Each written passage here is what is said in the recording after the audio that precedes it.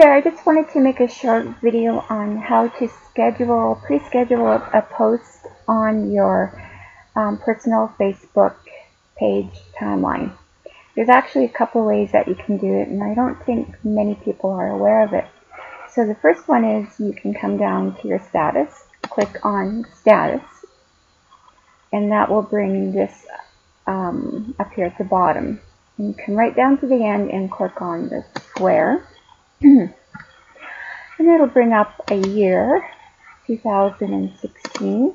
It'll bring up the month, October. It'll bring up the day, October 14th, 15th, schedule it for October 14th. It'll bring up a time. So let's schedule it for 3 p.m. And even down to the minute, you can schedule it right down to the next minute. So 320. Uh, you can write in this is my test post. And it will, you have specified a date in the future and it will post at that time. Second way you can do it is through a program called Postcron, and it's a free program. And this is the back, and same thing. You can add photos. So let's add a smiley face.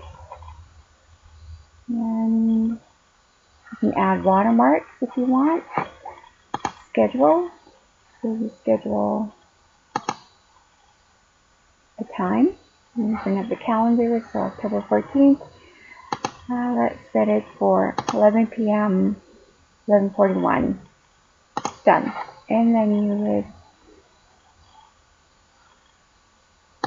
well, the picture will post now, but you can write in here what you want. This is my scheduled post, and you can have Facebook on here, Twitter.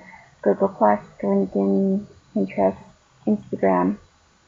You know, you can schedule your posts and it's complete, completely free. So that's at postcron.com. And I hope this tutorial was helpful and um, subscribe. I'll be making many more. Thank you.